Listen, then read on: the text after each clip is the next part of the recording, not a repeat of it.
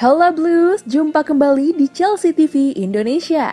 Kali ini Chelsea TV Indonesia akan mengabarkan secara spesial untuk kalian tentang berita-berita terupdate seputar Chelsea yang tentunya tidak boleh kalian lewatkan. So, pastikan tonton sampai selesai ya Blues. Manchester City saingi Chelsea terkait transfer Ben Chilwell. Chelsea menjadi salah satu tim yang bergerak cepat menambah kekuatan skuadnya jelang musim 2020-2021. Setelah sukses mengamankan tanda tangan Hakim Ziyech dari Ajax, tim London Barat juga dikabarkan akan segera merampungkan transfer Timo Werner dari RB Leipzig. Belum puas, Frank Lampard masih berencana untuk mendatangkan back Leicester City Ben Chilwell. Kabar terkini menyebutkan bahwa Chelsea sudah mulai melakukan negosiasi dengan The Foxes dan telah menyiapkan dana sebesar 60 juta pound sterling. Namun sepertinya kini Chelsea punya saingan. Menurut laporan Telegraph, salah satu rival abadinya, Manchester City juga berminat untuk mendatangkan Chilwell dan siap berebut di jendela bursa musim panas 2020 saat resmi dibuka nanti. Kendati demikian, Chelsea dan Man City mungkin sulit untuk mendatangkan Chilwell mengingat harga yang ditetapkan Leicester cukup tinggi. Mereka kabarnya ingin setiap klub yang berminat mengeluarkan setidaknya 85 juta pound sterling, harga yang sama saat mereka melepas Harry Maguire ke Manchester United. Alhasil, The Blues pun langsung menyiapkan alternatif lain apabila mereka gagal memboyong Ben Chilwell ke Stamford Bridge, yakni Nicolas Tagliafico yang kini tengah membela Ayak.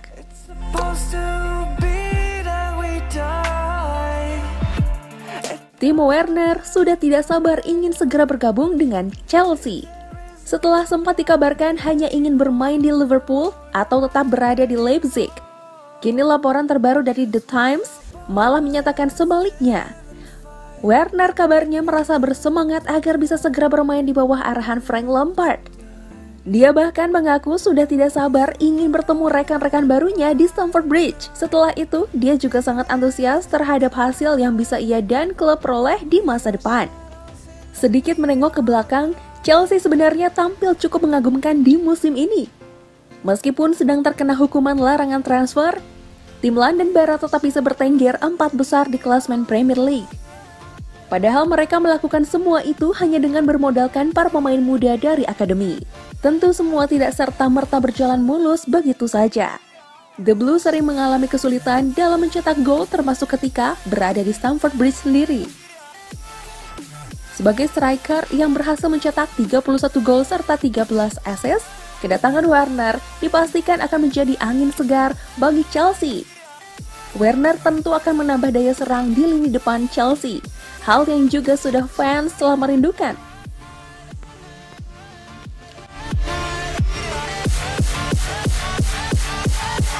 efek domino yang ditimbulkan dari transfer Timo Werner.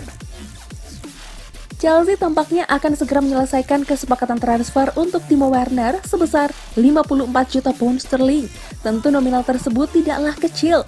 Kepindahan Werner ke Chelsea mungkin akan membuat efek domino terhadap incaran The Blues lainnya seperti Kai Havertz dan Jadon Sancho. Setelah hijrah ke Chelsea, tentu Liverpool harus mencari pengganti Werner dan itu bisa membawa mereka ke nama-nama baru seperti Osman Dembele atau Kai Havertz. Dembele mungkin sempat dikonfirmasi akan tetap tinggal di Spanyol tahun ini. Namun Liverpool pasti tidak akan melewatkan kesempatan di jendela bursa untuk mendapatkan Kai Havertz yang telah menjadi pemain terpanas di sepak bola Jerman ini. Terlebih lagi, gaya permainannya memang dianggap cocok untuk taktik Jurgen Klopp. Manchester City kabarnya juga memiliki beberapa nama pemain hebat dalam wishlist mereka. Tanpa kecuali Kai Havertz. Selain penyerang Bayer Leverkusen tersebut, Setan Merah juga menginginkan Jack Grealish dan Jadon Sancho. Sancho sebelumnya telah dikaitkan dengan Chelsea, tetapi dengan bergabungnya Werner ke Stamford Bridge, hal ini membuka peluang untuk United bergerak.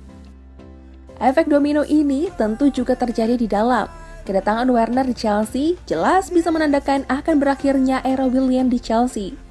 Setelah masa depannya di klub diragukan, sekarang tampaknya sudah jelas terkonfirmasi.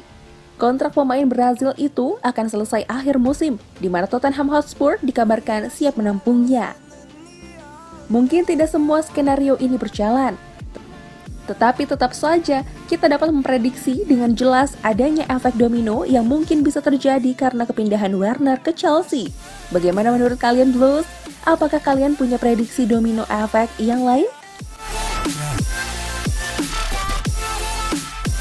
Hampir satu dekade dipinjamkan Chelsea terus, Lucas Piazon belum menyerah. Dalam 9 tahun karirnya sebagai pemain Chelsea, hampir 8 tahun di antaranya dia habiskan sebagai pemain pinjaman. Lucas Piazon bahkan telah bermain di hampir setiap liga top di Eropa, mulai dari Liga Spanyol, Liga Italia, Liga Jerman, Liga Belanda, Liga Portugal, dan tentu saja Liga Inggris. Pemain berusia 26 tahun ini kini tengah menghabiskan waktu di Portugal setelah bergabung dengan klub Premier League, Rio Ave, selama dua musim dengan status pinjaman. Sejak kedatangannya pada bulan September di Portugal, Piazon telah tampil sebanyak 10 kali sebagai starter dan dua kali sebagai pemain pengganti. Itu mungkin tidak terlihat banyak, tetapi bagi seorang pemain yang sedang putus asa mencari stabilitas dalam karirnya, itu adalah langkah menuju yang baik. Kombinasi bimbingan dari Chelsea dan tim teknis yang bertanggung saat dia dipinjamkan membuatnya tidak hanya menjadi pemain yang lebih baik, tetapi juga lebih matang dia sendiri masih memiliki waktu satu tahun lagi di Rio Ave dan sisa kontrak dua tahun lagi di Chelsea. Karir Piazon tentu saja tidak sesuai dengan julukan The Next Kakak yang pernah diberikan kepadanya 10 tahun yang lalu. Namun demikian, ia masih memiliki waktu untuk menemukan tempat dan menetapkan karir yang lebih solid. Timo Werner bisa tambah beban tekanan untuk Frank Lampard.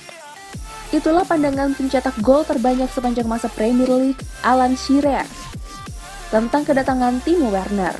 Belum lagi sebelumnya Chelsea sudah berhasil mendapatkan Hakim Ziyech dan masih mengincar Ben Chilwell. Alan Shearer percaya bahwa semua pemain tersebut pasti berharap untuk bermain di Liga Champions musim depan.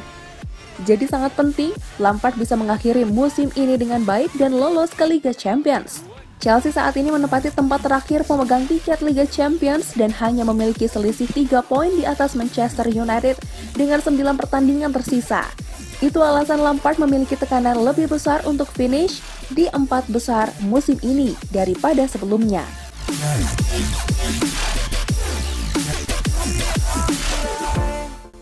Chelsea didesak untuk melupakan Ben Chilwell. Mantan gelandang West Ham, Don Hutchison, berikan pendapatnya agar Chelsea tak lagi mengejar Ben Chilwell dan mengalihkan perhatiannya kepada bek kiri ayak Nicolas Tagliafico sebagai penggantinya. Terlebih lagi harga Chilwell dipastikan jauh lebih mahal daripada harga Tagliafico. Dalam beberapa laporan, Leicester menginginkan harga sebesar 80 juta pound sterling untuk pemain berusia 23 tahun mereka, sedangkan Tagliafico bisa bersedia hanya dengan 22,4 juta pound sterling saja.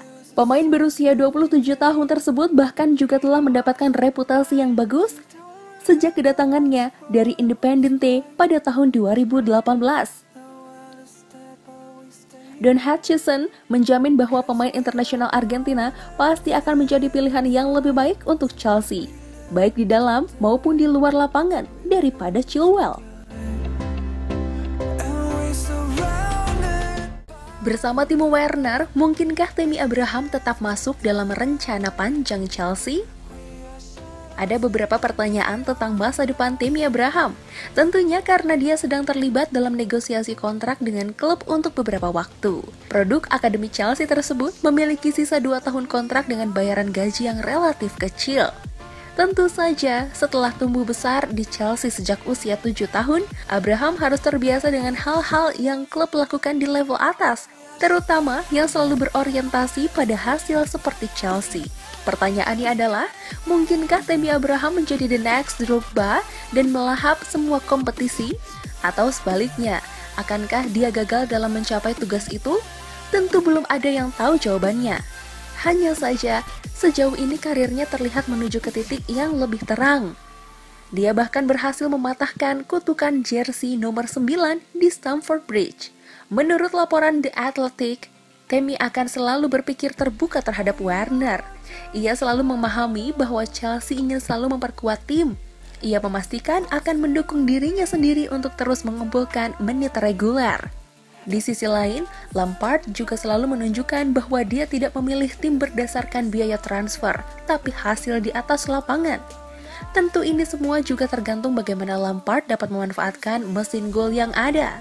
Fans yang tidak ingin kehilangan keduanya berharap bahwa ada sistem dua penyerang yang akan menjadi sesuatu yang ideal. Tentu itu hanya sebatas teori pada saat ini. Abraham dan Werner cukup berbeda dalam hal gaya bermain. Kita hanya perlu memikirkan cara terbaik memanfaatkannya untuk keuntungan The Blues yang kita cintai.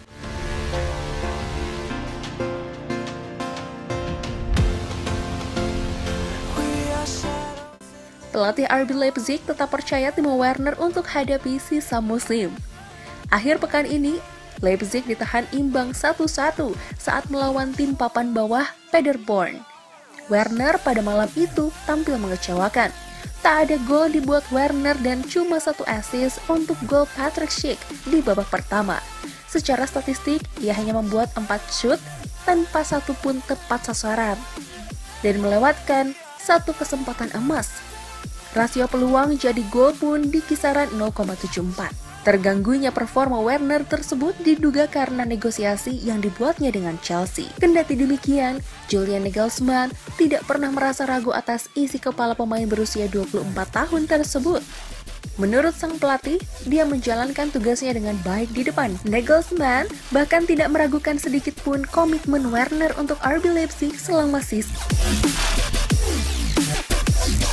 Itulah tadi beberapa berita terhangat minggu ini yang berkaitan dengan Chelsea. Bagaimana tanggapan kalian tentang berita-berita tadi Blues? Buat kamu yang mau request, mau dibahasnya sesuatu atau mau diskusi, silahkan komen-komen di bawah ya. Jangan lupa like, share, dan nyalakan lonceng notifikasi supaya kalian gak ketinggalan berita terupdate dari Chelsea TV Indonesia. As always, I'll see you in the next video. Stay safe, everyone.